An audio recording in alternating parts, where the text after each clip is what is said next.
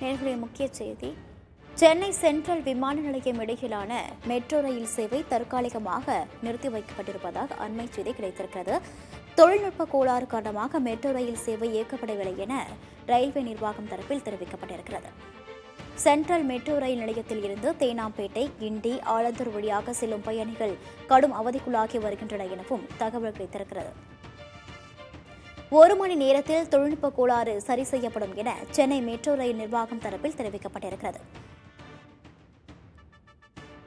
முக்கிய செய்தியாக பார்க்கிறோம். சென்னை சென்ட்ரல் விமான நிலையம் இடையிலான மெட்ரோ ரயில் சேவை தற்காலிகமாக நிறுத்தி வைக்கப்பட்டிருப்பதாகவும் தொழில்நுட்ப கோளாறு காரணமாக மெட்ரோ ரயில் சேவை இயக்கப்படவில்லை எனவும் ரயில்வே நிர்வாகம் தரப்பில் தெரிவிக்கப்பட்டிருக்கிறது.